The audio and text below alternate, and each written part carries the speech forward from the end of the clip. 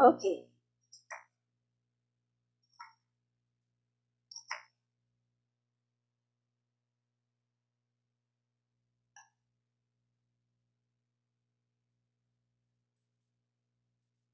Yan. So, good afternoon, everyone. Please uh, make it in presentation form in the first one.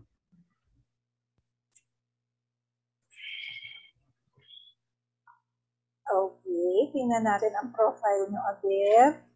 Yes. Um. Okay. So, guys, before we start this presentation for the group two, I want you guys to feel that we are in a executive meeting. This is a an emergency meeting for the uh, business that we have right now. So I want you to guys to feel that you are our investors. So even though this is just a small business, because this is all about improving our business from the uh, business plan, the business that we have, from the marketing and the costing that we have. So guys, I want you to feel free to be the investors and give us suggestions later on what to improve kasi andito na po uh, here in our presentation is what we have uh, planned and done for our uh, on progress business that we have. Okay, so before we start is we let's first look at each of the profile of my colleagues. So definitely this will be the group two. Okay, next uh, next slide. So this is the uh, profile for uh, Ricamil Bergado. As far as what we can see, she is the highest in the information seeking in her profile no? As far as what we can see. And also uh, this gives us an opportunity that in self-confidence that she has and opportunity seeking it is very low. Okay? So this is not really uh, somehow good in the business. However this is a challenge for for her to be better because this business is uh, will be giving her the time to uh, improve more. Kasi hindi pwede na parang yung self-confidence niya in in this business will be just that way. Okay, so uh, it's, it's still good na nakikita yung uh, information seeking is very high and also yung goal setting niya is very low. However, uh, with the help of other group members, may kita natin uh, later on if this will be will progress is mas tataas pa. Okay, next one.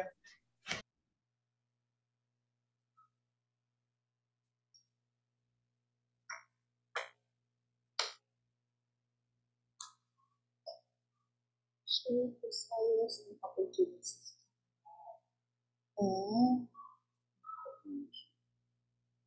Okay, I'm sorry for the interruption. So this one would be the profile for Jane Kanilang.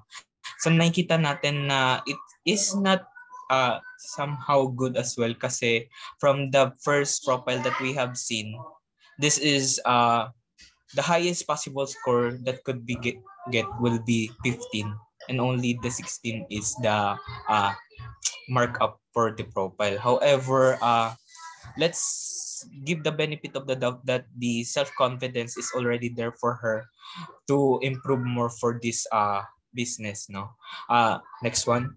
And then also, uh, we're trying to see each other's profile no for this uh, group. Kasi in this improving your business you will be seeing kung ano yung uh, pwedeng i-improve sa business na kailangan. And then kailangan natin din makita yung mga profile ng iba't ibang member kasi ito yung nagbibigay ng indication kung bakit may ganitong uh, problema sa isang business kung ano yung pwede pa naming improve. And nakakatulong dito yung mga profile na meron yung pagsagot nila. No? So next one.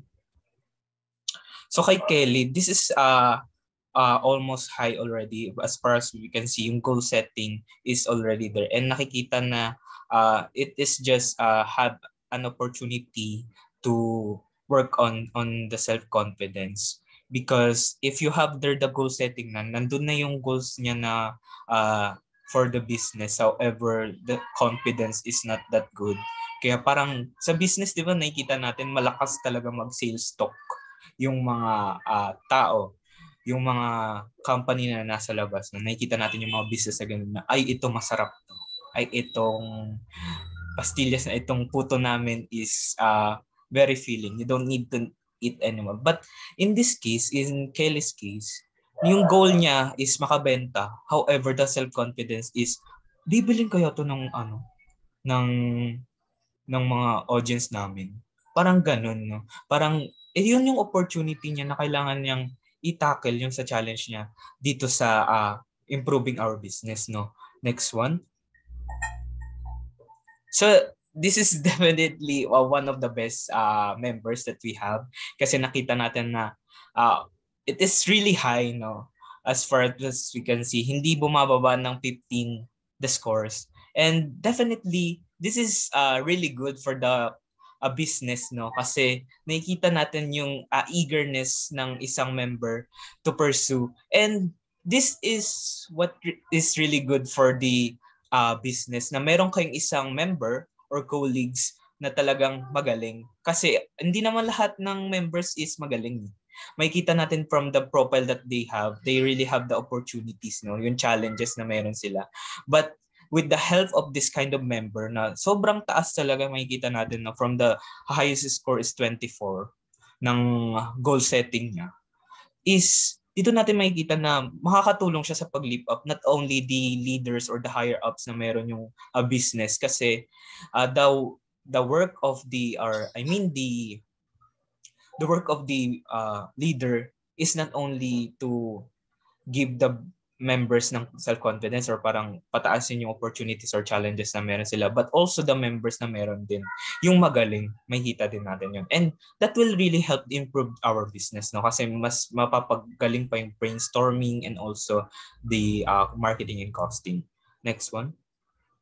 So the next one would be uh, Abigail de Lima's uh, profile no? As far as we can see uh this is stagnant. Parang pataas, pababa, pataas, pababa, tapos biglang tataas. Tapos biglang bababa.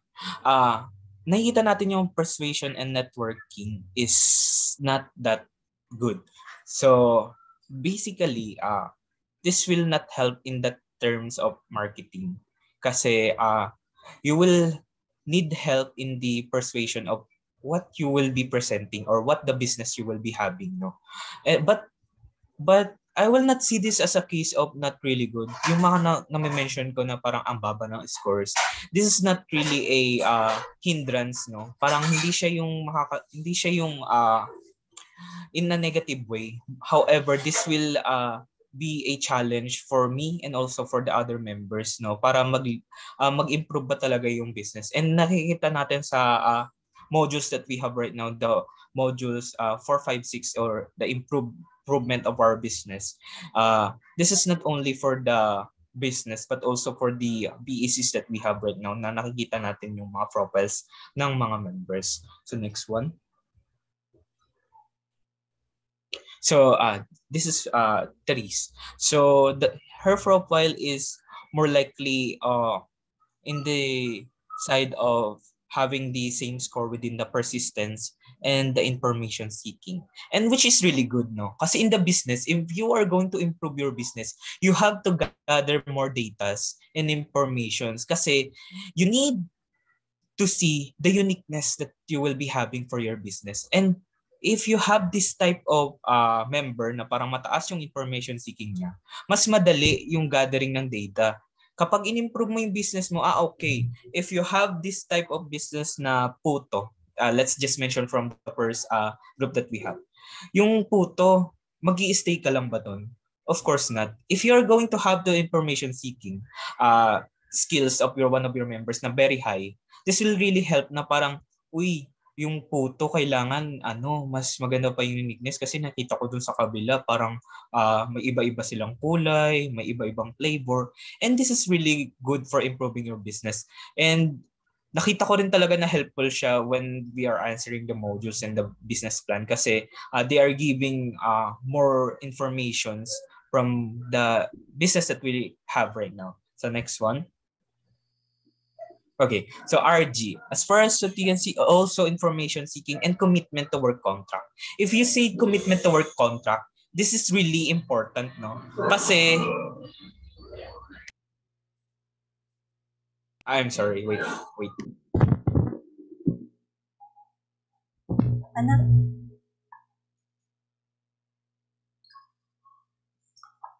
Ayan, ayan, okay. So as far as we can see, really important is the commitment to work contract. Kasi you have there in the business. If you want to improve your uh, business, you must have one of your members na very high yung commitment niya sa work contract niya na okay kapag work-work tayo. We, we're not uh, dealing with some kind of joking stuff na meron tayo dito. However, we have to improve more kasi kapag improving, very serious matters na yan eh.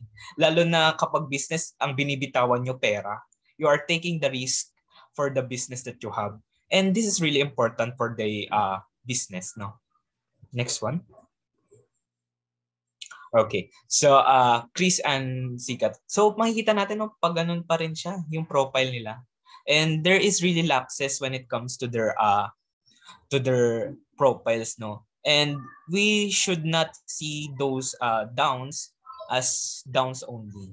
But this is a challenge for them to have their persistence to gather more in the higher uh, level or parang uh, mag-improve pa. Kasi uh, hindi ito magiging uh, hindrance for them para ma ma-down pa yung business. Kasi each one of you have the roles eh, for the business that you have. And taking each other's uh, profile and seeing each other's profile na parang, ah, okay, yung persistence decrease and sikat is very, uh, is not that good.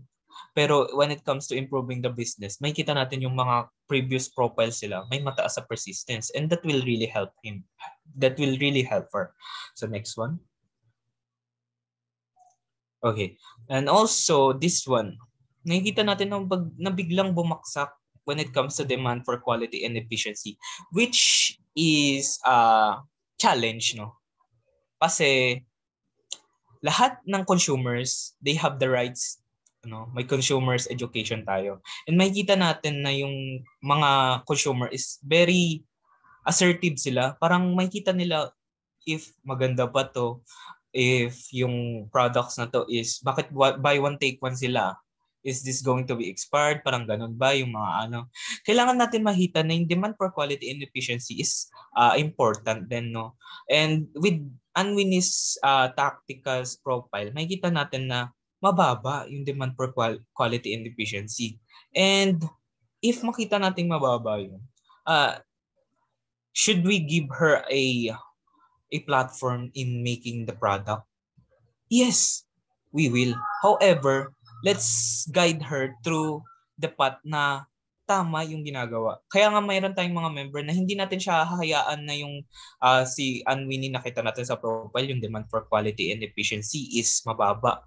We will give her a body para yung business or that, sa improvement nila is magiging mas mataas pa. Hindi na magiging hindi na magiging uh, mag, hindi na magiging basis tong uh, profile niya kapag nagkaroon na yung uh, improvement ng business. Kasi kapag makikita natin lahat ng tong mga pinagsasabi ko when it comes to their profiles, kapag nag-boom yung business, uh, tuloy-tuloy yung business ng success, this will no longer uh, be the basis na ang baba ng demand for quality efficiency. Eh paano yung business business ng in-improve ng business namin? Eh ang galing nga ng demand and quality. Eh yung efficiency din niya magaling. So this will be no longer a basis. However, a guidance or guide for her will be uh, much better kasi nga yung demand for quality and efficiency is mababa. So next one. Okay. So uh, as far as what we can see with the profiles, no, at talagang matataas yung goal setting nila. And this is what I'm really proud of with the uh, profiles that we have.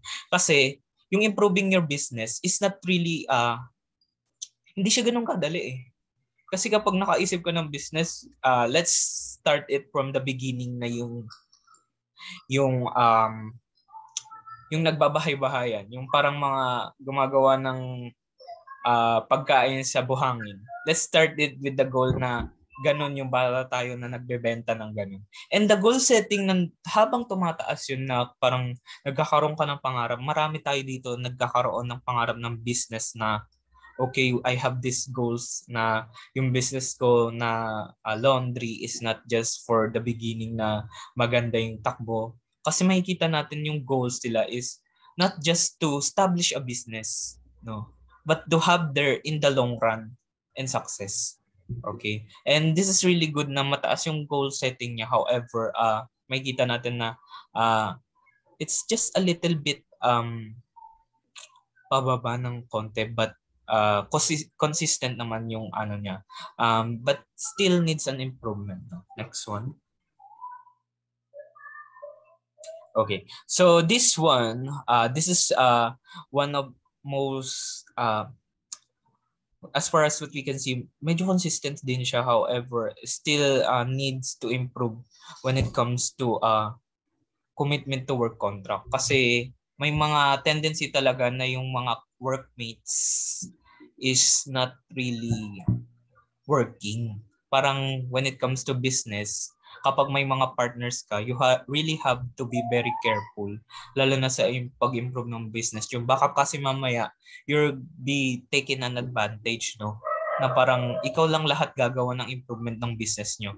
But with this, kailangan talaga siya ng uh, guidance and also with the higher ups na meron lalo na yung mga leaders na meron kasi uh, you really have to pursue them very hard para makatulong sila sa business next one Okay, so right now this is now my profile, no. And as far as what we can see, uh, mababa ako sa risk taking. And I could say that this is really a not good sign for a leader.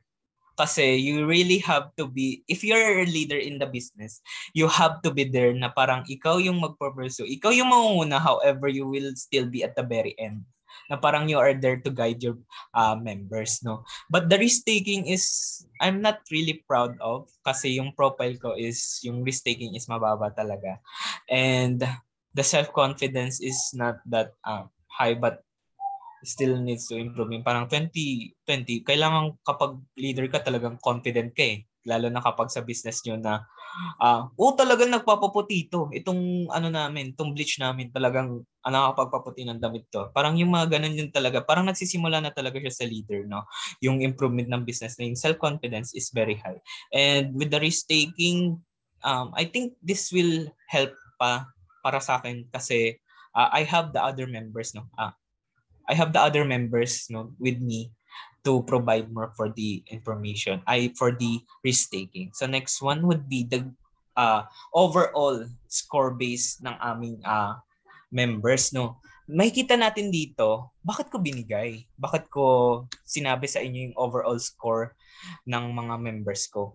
Kasi sa improvement ng business, hindi naman nakita na natin yung each profile eh. Ngayon naman tingnan natin kung bakit ano pa yung kailangan i-improve sa business. Yung PEC kasi makakatulong siya na oh, yung ano, yung business na meron tayo kulang sa information na parang bakit ganito lang? Ka- bakit bumagsak yung business? Bakit mababa yung benta ng business? Ano yung pakulo na kulang sa business, no?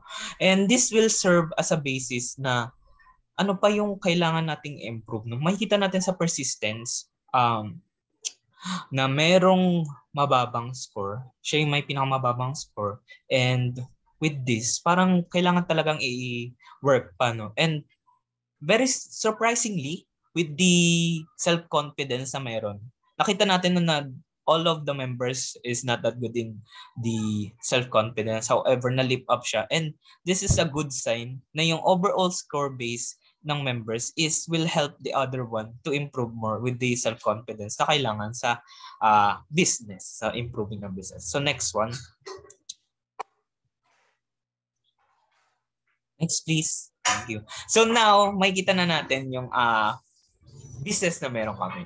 That would be the Fortune Pastillas. So we will not be giving here the uh, information about the Fortune Pastillas, but I will uh, give you no yung kung ano yung ha, insight na meron sa Fortune Pastillas. Kapag si uh, kapag sinabi yung pastillas, yan yung nabibili lang sa kanto, yun sa mga uh, sa mga pasalubong, 'di ba? Sa mga pasalubong. Yung ang one of the uniqueness na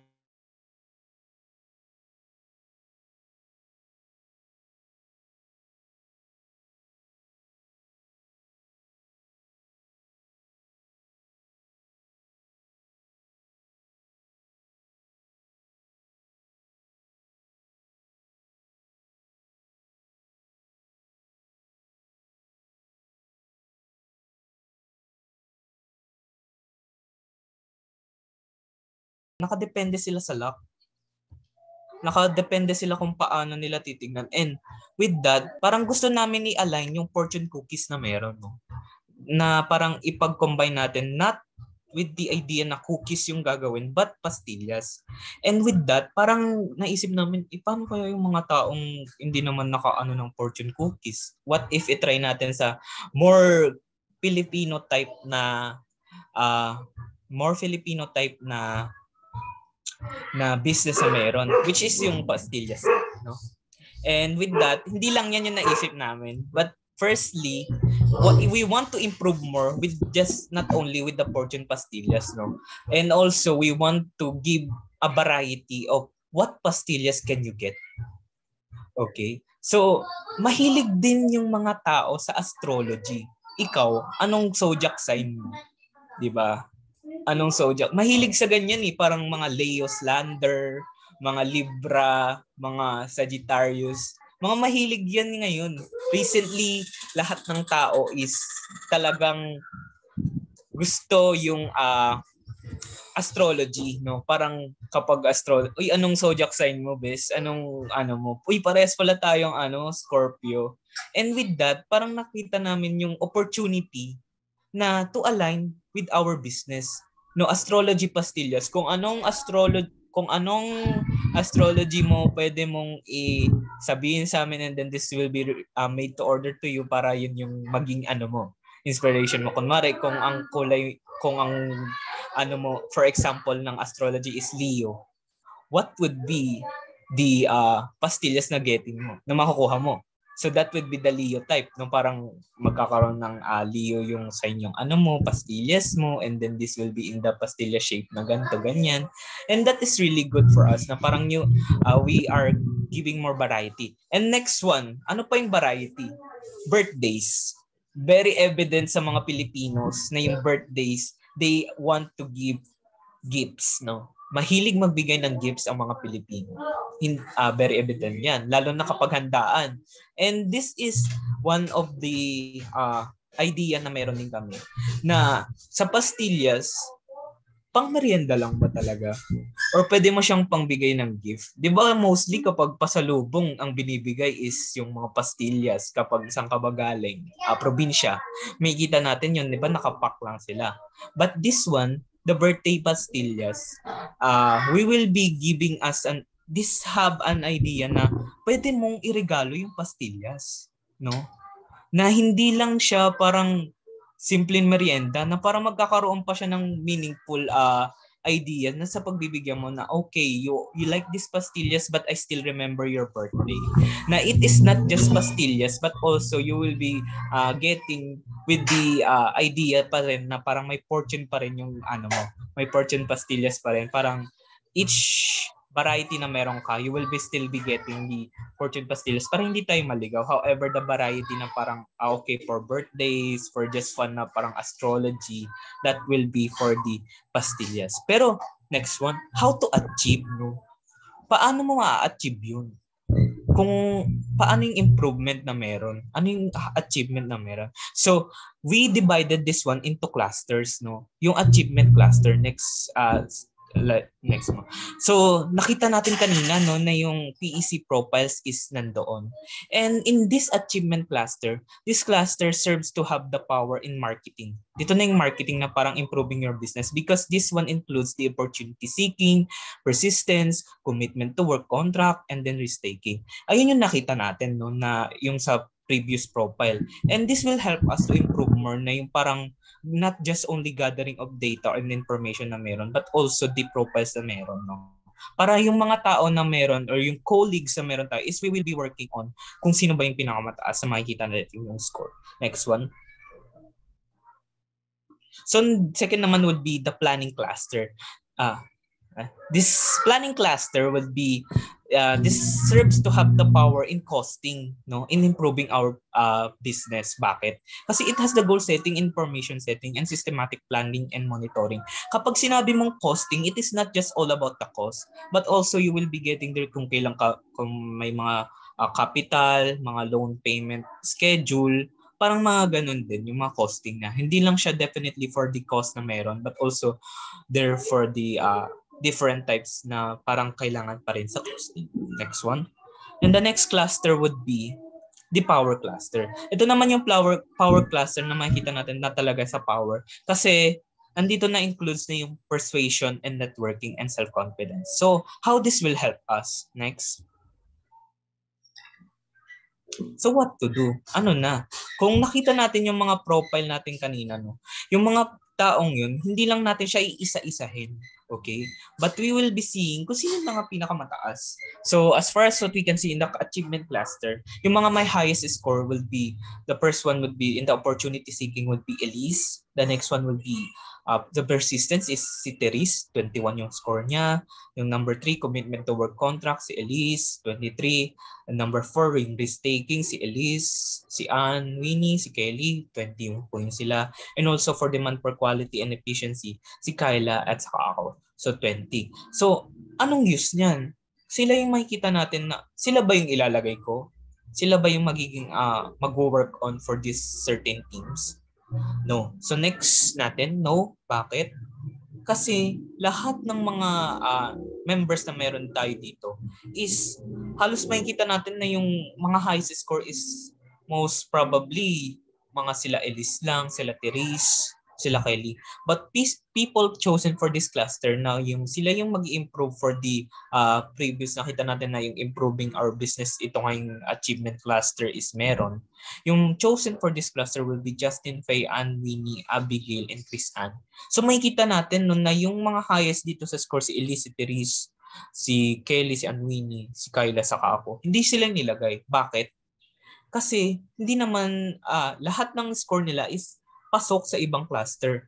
But we will be uh, getting one from them na nakita natin no, si Anwini that will help the other people na para mag-work pa sa kanilang uh, achievement cluster no so makikita natin yung opportunity seeking and persistent and other uh, values or uh, profiles na meron is uh, parang medyo kailangan ng chal pero medyo challenges siya for other members na meron dito and parang ang gagawin for this cluster is i-guide sila ni Anwini which is uh, one of the highest for the uh, risk taking. The next one. So naman sa planning cluster, no makikita, 'di ba, evident na si Elise yung mataas sa bawat score. Siya lang ba ibibigay ko? Eh kapag nag-business ka, hindi naman pwedeng isang tao lang ang gagawa. So you have there the other members, no? You see Elise yung sa highest, ano, sa highest uh, score sa goal setting and then sa information seat, seeking maraming highest ako, si Therese, Elise, tapos sa systematic planning and monitoring, si Elise pa rin. So, I will be giving this chance para kay Elise at Therese na gawin na talaga kasi sila yung parang uh, highest nandito eh. and makikita natin na si Elise is ma- mataas yung goal setting niya. And this will help us to guide in the road na meron tayo. And also, kasi yung business kailangan mo diyan talagang matinik kayo pag nagtitingin kayo ng mga ano walang dapat butas eh lalo na kapag uh, nag-business kayo kasi kailangan maging unique kayong product nyo. And with us, yung Fortune Pastillas, makita natin. An paano kaya yung ano, yung goal setting nun? An, yun lang ba? Nandun lang ba? No. But we have to improve more with the use of these clusters na meron tayo. So next one. Si Kelly pa, ah, si Kelly para kasama din. Ayun. At si Kyla RG din. Ayun. So, the next one to be the power cluster. So, makikita natin ng highest score pa rin sa persuasion and networking si uh, and self-confidence si Elise. And the people chosen for this cluster is me and Jane. So, bakit? Kasi, bakit leader? Bakit leader yung nilagay sa persuasion and networking? Eh, hindi naman siya yung highest. Eh, yung self-confidence din niya, medyo ano. Kasi kailangan ng leader to guide them para yung self-confidence sila kasi kailangan mo silang i-boost eh, yung moral nila, lalo na yung mga work colleagues natin. Nakikita natin usually yung mga CEO, yung mga business uh, partners, yung mga matataas na bosses. Talagang walang gagawin yan, parang hahayaan ka sa work. But with this one, we have the idea for our business na yung leaders should be guiding also with the members na meron tayo. And that would be the power cluster. So next one, improving, dito na tayo sa improving your business. So, paano natin may improve So, planning for your business, this is the pillars that we have. The first one that we will be doing for the meet, uh, for the planning your business na improve namin would be, the first one would be the meeting. Ano ba yung meron sa meeting? Kasi kapag nagplano kayo ng business, you have there na nandiyan kayong lahat, no? Even though even in the executive industry or parang sa mga business industry, talagang mayroong meeting. And sa amin, ang unang gagawin for planning for business, ang ginawa namin is yung meeting na meron kami. And that would be include the agenda. Ano yung agenda ng meeting namin? So first one would be the business. No, meron nga kami ng Fortune Pastillas, no? Ano yung, uh, ano pa yung, uh, sa next one would be gathering of data information. Ayun, gathering of data information. Eh kapag pastillas, hindi naman uh, parang may kita natin na oo, wala masyadong information na parang mostly meaning lang ang makikita. Pero makikita, kailangan natin sa meeting na to is yung mga data na kung ano pa yung meron tungkol sa pastillas, kung ano pa yung mga business na ilalagay. Lalo na yung mga big companies na meron. Because this will help us no to improve more yung planning ng business natin. Na parang let not just stay in a way na parang uh, home products this. Kasi mostly makikita natin yung mga pastillas is home products eh. And with this gathering of data information hindi lang namin siya ilalagay sa ganong setup but with more uh, defined setup na parang yung uh, business ng Fortune Pastillas is not that with only uh, information that we have, but we also the gathering information. Next one would be the weakness. Ano ba yung weakness ng pastillas? Eh, hindi naman kasi lahat ng tao kumakain ng sweet. Hindi naman lahat mahilig sa sweet. Ayun yung magiging plano ng meeting. Ano pa yung weakness na meron? And with that, parang paano natin i-improve yung weakness na yun? No? And with that, parang naisip namin yung planning ng business namin is uh, more likely uh, magkakaroon din ng variety na parang hindi ganito katamis, hindi sobrang tamis. Parang i-imply din natin when it comes to parang sa milk tea. Parang 100% sugar. Kasi may kilala ako personally for my from my experience, may kilala talaga akong taong mahilig sa sobrang tamis na parang meron na siyang milk tea, gusto pa niya ng cake na ano, na sobrang tamis. And with that, parang maraming variety. Meron pa nga akong, may isa pa naman akong kilala. Uh, ayaw na talaga sa matamis. Parang ayoko na, nakaka-umay yan eh. And with that, bibigyan natin ng uh, just justification yung weakness na bakit sobrang uh, bakit ayaw ng tao ng matatamis na pagkain. And also with the fortune pastillas na parang let's just stay in ba with the sugar na meron or let's have an alternatives for the pastillas na meron tayo. Also with the sugar sugar or yung parang sweetness. And targeted market and audience. Kapag sinabing targeted and market audience sa meeting na gagawin namin for planning your business, yung audience na meron kasi basically this is improving your business no. The first one that we have talked about is the home-based products nga na pastilla sa parang ready to meet order. But with that, pa, ang gagawin namin, audience lang namin, mga estudyante, mga ganun lang, mga ano lang, malapit lang sa school. But we have uh, given this uh, opportunity, yung meeting is to have more for the audience and targeted market namin. And the next one would be the strength. Yung strength naman is yung uniqueness. Ano yung uniqueness na meron kami when it comes to uh, when it comes to Fortune Pastillas. Ayun na nga is yung nailapit yung kagustuhan ng mga Pilipino and yung pagka-addict ng mga Pilipino sa fortune, yung sa, uy, uy, siswerte na ako nito, sabi dito. And with that, parang hindi lang siya, kasi yung, ang nakita rin namin, one of the uh, idea na meron yung fortune cookies is yung para sa mga restaurant lang eh parang pag kunwari yung bibili ka ng ganito ganyan. Ah uh, yun yung first idea namin. And second yung idea is yung nabibili sa mga Shopee. Eh bakit ka pa bibili sa ano kung yung strain yung kung meron naman palang ano lang, isa lang pala bibili. Hindi naman pwedeng yung fortune cookies is araw-araw bubuksan. Parang uh, we have this idea na parang i-indicate naman natin na what if maka-Pilipino naman yung fortune cookies na parang fortune pastillas naman na gawin natin. And yung improvement naman, dito na papasok yung weakness kasi na meron kami.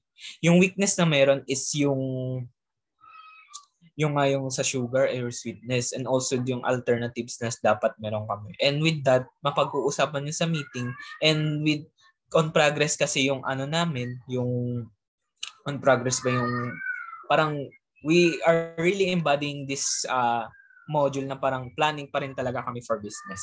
So, next one. And ini-improve pa rin.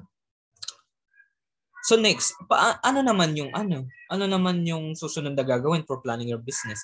So next one would be executing. Ito na magkakaroon na yung uh, nakita natin yung previous no, yung mga mga clusters na meron. That would be for doing it, yung meron na yung mga teams, no? Ayun na yung mga teams na gagawa for that certain area na meron. For the achievement cluster, sila yung mga planning for business, sila yung mga gagawa ng mga uh, more on gathering data and information and executing naman yung uh, yung mga system and monitoring. Yan yung mga higher ups. Yan yung mga uh, leaders kung titingnan nila if they are doing the their job ganon. And then the next one would be the on-site. Next please. Okay. So what do you mean by on-site? This is to make sure na yung uh, mga product uh, na mga product or yung mga information is totoo this is to make sure na yung mga binibigay or yung for improvement ng business is lalo na yung sa amin kasi uh, we're not really that going out lalo na kapag ano eh kapag this is really pandemic no? Parang ang ang mostly makikita natin saan ba yung pastillas saan ba yung mga information na meron tungkol sa pastillas internet malls uh, bus station. This is to make sure kung may pagkakaiba pa. Lalo na kasi kapag iba-iba tayo ng pinupuntahang probinsya eh. Eh yung mga pastillas, paano ba sila nagkakaiba? This is to make sure na yung mga tao and yung mga gagawan, yung mga team is on-site na parang gagawin talaga nila and they will be executing. And gathering more data, no? This, for planning your business, ito talaga yung kailangan namin. Uh, gathering more data and to do feasibility studies in case lang na parang uh, ano paano ba yung kasi kapag gagawa ng business kailangan talaga ng studies and more data para to satisfy na kailangan nasa road na ba tayo ng tama na ano ba yung mga kailangan pa nating improve and also with the help ng mga teams na meron tayo. So next one. So yun no, makikita natin yung diagram ng planning for our business na nagsisimula talaga siya sa meeting, non manage yung prod, yung project, yung product na meron, yung agenda and yung task. And then the next one, executing and then the on-site itself. Okay? So next one. So susunod naman is yung marketing. So kapag sinabi ko sa inyong marketing, talagang papasok sa inyo is paano ko i-market yung product? No? Paano ko ibibigay sa inyo yung product na meron kami? Ano yung marketing na style, strategy? And one of uh, the the pillars or the meron yung marketing is will be the plan. So ang gagawin namin for the product plan will be that uh, the pastillas na and the variety itself. And that's why we are having this one kasi we want more to uh, improve the pastillas sa mayroon kami. Ayaw namin na parang lame, lame idea yung simpleng pastillas. But we want to improve more, lalo na sa marketing. And also the price we want this to be achievable also by the Filipino no? Kasi nga inilapit namin siya sa mga Pilipino yung fortune cookies na parang magiging fortune pastillas. But we have there na price plan na yung ang naisip namin is achievable siya ng mga taong nakakakuha or nakaka nakakasahod ng mga minimum. Na parang hindi namin siya ilalayo doon but also we have the quality no? And also the place plan. Uh, the first one na naisip nga namin is home, no? Sa bahay nga lang siya gagawin. But with this one, parang ang gagawin namin sa place plan is we will be uh, having a workplace, no? Kasi kailangan namin sanitize eh. Hindi naman uh, pwede na parang sa bahay lang talaga gagawin yung pastillas but we have to be uh, sanitized and that will be the plan for our place na promotion ito na yung magandang promotion kasi ang promotion plan, uh, makikita natin no, mostly social media talaga yung nagwo-work dito. Lalo na TikTok, Facebook, YouTube, Instagram, lahat yan. And promotion plan, hindi lang naman uh, doon nag end We have also yung mga uh, sa labas, yung parang uh, flyers, yung mga makikita natin mostly tarpaulins. Yung mga tarpaulins din makikita natin. Available here, pastillas, ganito, ganyan. Then that will be the promotion plan that we have. Not only in the social media, but also it is it is on given na. And the people plan, uh, the, for the plan namin sa mga people, sa tao is ihahati namin yung uh, staff namin or yung members and also for the yung consumers naman is uh, we want this to be achievable by all of the Filipino naman pag ano. And then the process plan, ito na yung uh, we have to improve yung process plan kasi yung paggawa ng uh, ng ng pastillas in many orders is hard. Parang hindi mo ma-achieve yung quality, uh, same quality. There will be really lapses na parang hindi lahat ng uh, lasa ng pastillas ay parehas. And then the process plan na meron is kailangan din namin ilag- nilagay din namin dito yung parang process ng pastillas na parang it it will be still the same kung ano yung nakuha naming uh, lasa and kung ano yung gustong variety na meron kami sa product na meron. Physical evidence, this will be the ano na, the pastilla itself na ongoing na siya, on the long run na talaga siya sa business na meron sa Pilipinas, lalo na sa mga malls, sa mga big businesses na parang makikita natin na makikita, lalo na sa mga ano restaurant, parang makikita natin yung may mga pastillas na rin doon. So that will be the physical evidence. Oh, next one. So sa structure, ito na yung organization, uh, structure no na meron yung organization. Kung nakita na natin yung mga PEC profiles no, dito na makikita natin yung uh, structure ng organization ng meron kami. And this will help us say steps na kailangan lalo na yung mga tao is um, kailangan talaga siya na matutukang maigi para sa structure na meron. Lalo na kasi itong marketing is not really uh, hindi siya biro gawin kasi marami rin siyang uh, uh, marami rin siyang process to do. Lalo na yung makita nating plan, different plan yun. Lalo na para, hindi yun kailangan mawala kasi uh, kailangan yun para sa business na gagawin. Lalo na sa uh, simple business na mayroon. Kasi you have there the, to be the unique one. Kailangan ikaw yung kakaiba lang para makita ka rin ng ibang tao. Next one. So responsibilities, andito na papasok yung responsibilities ng uh, ng aming business. So legal basis, ano yung legal basis na meron para sa business na meron kami? So kapag i-improve mo yung business mo, kasi kapag lumalaki na yung business, you have to get there the uh, the city hall kung ano yung ano yung mga mga forms na meron, lalo na kukuha ka sa, sa barangay, hindi na siya pwedeng, kasi nga nag improve na yung ano namin, yung pastillas na hindi na siya for only uh, homemade kasi nga meron na siyang plan. So basically, may responsibility na kami sa legal basis, yung kung tama ba yung uh, forms na meron kami. Yung makikita natin sa uh, mga businesses, yung mga mga naka parang dip, ewan ko pero parang mga diploma type parang mga naka-frame pa sila mga naka-frame pa sila na FDA approved sila mga ganun, mga halal basis. So this will be the responsibilities na meron kapag in-improve pa namin. Yung, and this is also the insurances na meron para sa uh, business na meron kami. So next one. So estimation, ito na yung estimation na meron. So sa sales, sa service, and the cost ano yung estimation na sales? Ano yung every monthly sales na mayroon? And this is still on progress kasi wala pang nakakagawa ng ibang business with regards to this type of parang fortune pastillas na parang ano pa ba yung paano natin estimate to? Paano natin bibigyan to ng justification na yung estimation is tama and lalo na yung sa cost. Next one. Makikita natin yung sa costing later kasi uh, this in this marketing parang estimation lang siya na ibibigay for the and then also para ma-execute yung uh, product. And then also makikita natin yung uh, diagram na meron, no? yung nakapokus siya sa marketing and nakikita natin yung plan and structure and estimation and responsibilities is nag nandoon and papasok din siya sa marketing para sa success ng organization and also the product itself. The next one. Dito na yung costing. This is really the fun part one kasi makikita natin na yung product is gagawin na talaga. So, this one for the in the costing, meron tayong tinatawag na dalawang product costing. So this is for the uh, manufacturer and service. So ito na yung part na kung saan kukuha tayo ng mga uh, gagamitin, mga raw materials or pwedeng yung mga bultuhan, no?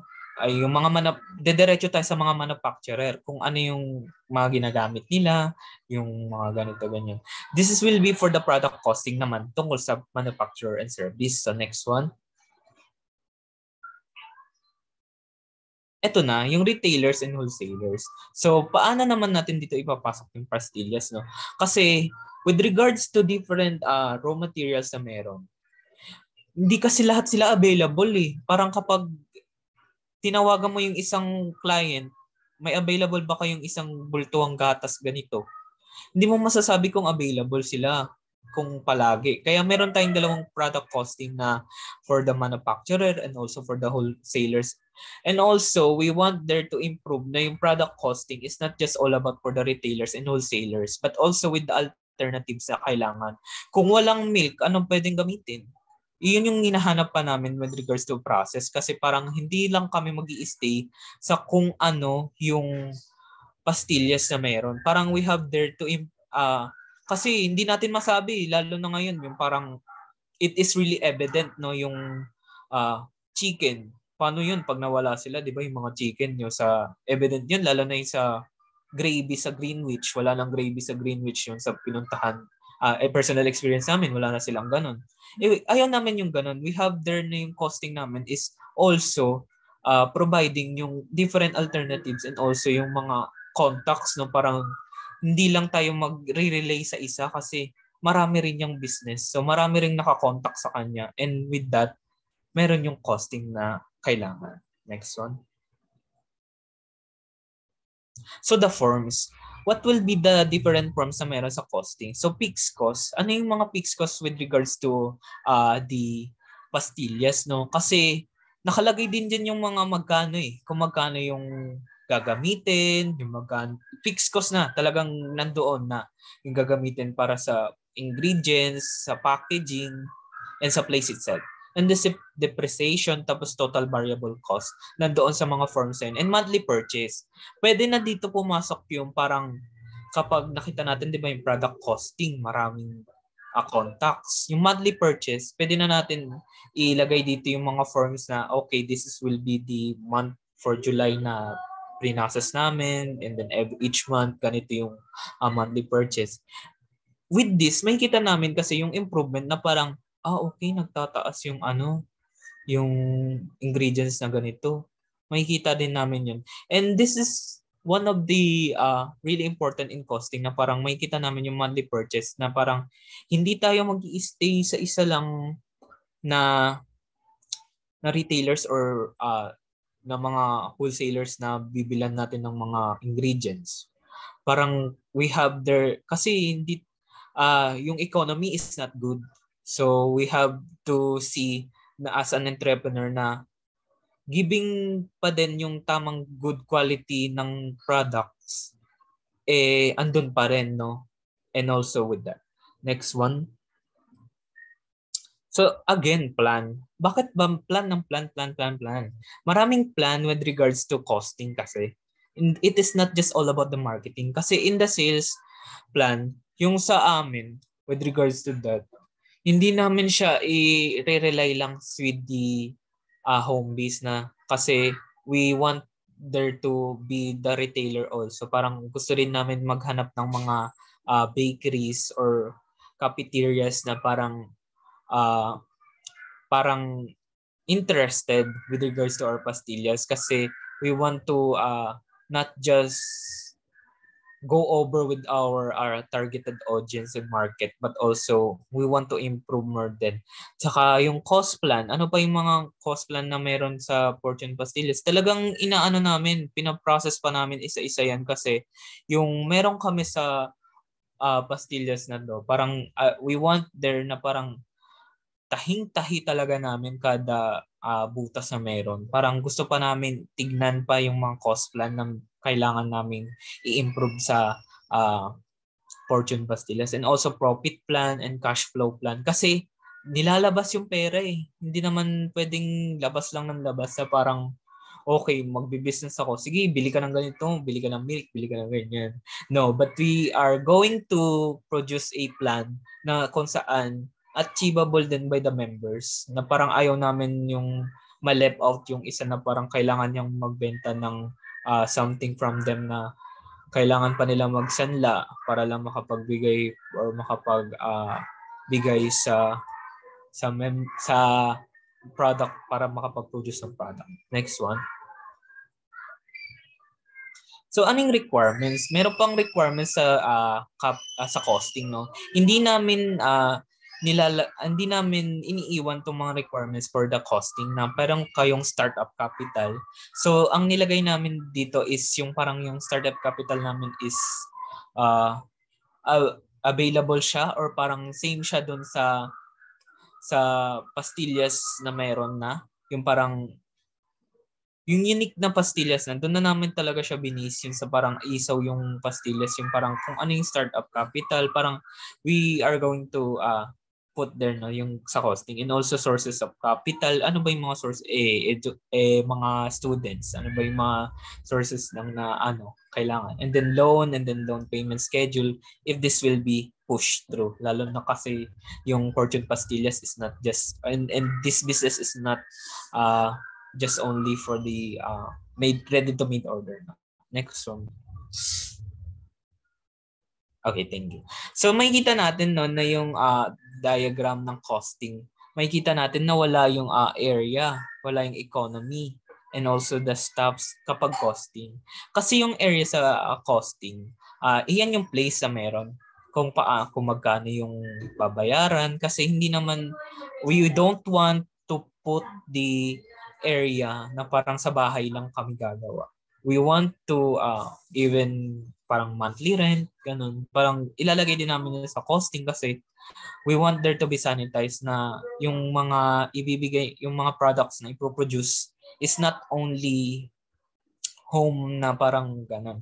And also place, parang uh, mahirap to but we have to see yung papasok lang. Kaya nga may costing na tinatawag na parang okay, may kita, yung maliit lang na place, parang kaya namin i-produce yung product doon.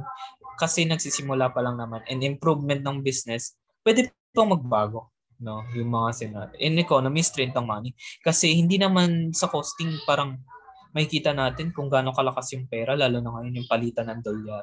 Parang makikita, ipapasok din dito yung costing na yun kasi uh, yung mga perang ilalabas is hindi naman ganun kalakas lalo na kapag dating ng araw. And also yung staff, yung salary in percentage na meron, yung mga uh, panihatian, yung mga costing na, na ganun meron kami. And with that, yan po yung uh, improvement na gusto naming i-realize sa inyo na parang hindi po kami nag-stop sa isa lang na kasi ang basically parang same kami sa first group. We are um, we already have generated our business na parang okay, uh, fortune the original plan would be pastillas lang. Sabi namin, eh, we want to improve pa eh, yung business natin eh. Paano kaya kapag nilagyan natin ng counting pakulo? So that will be our uh, business sa parang in-improve namin siya sa una yung ginawa natin na bal- binalikan natin yung uh, planning yung business, yung una nang ginawa, meeting nga, in-improve pa namin. And with that, parang makikita natin yung yung progress is nasa dulo. Makikita natin yun kapag natapos namin yung uh, business plan na meron kami. And that's po. Thank you po, ma'am. That will be our presentation. Thank you.